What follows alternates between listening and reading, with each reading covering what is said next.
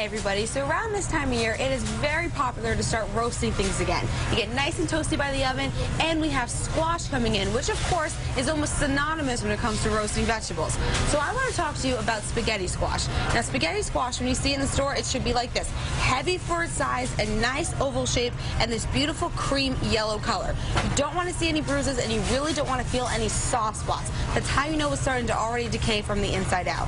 Now, the thing that sets spaghetti squash apart is in the name. It's like spaghetti. When you roast it, you want to cut it in half, roast it on a high temperature, make sure you season it before you put it in the oven, and then when it's cool enough to handle, you flip it over and you scrape out the inside with a fork and you actually get what looks like spaghetti. And it's so fun because just like zucchini, you can substitute it for a lot of different pasta dishes and you don't have the guilt of the carbs and you can still have some of the same feeling that you would eating your favorite pasta. And I'm Stephanie Tantillo with your tip of the day.